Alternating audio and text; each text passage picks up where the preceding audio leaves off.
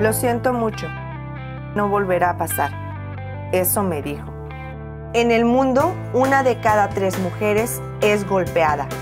Para el ciclo. Busca ayuda.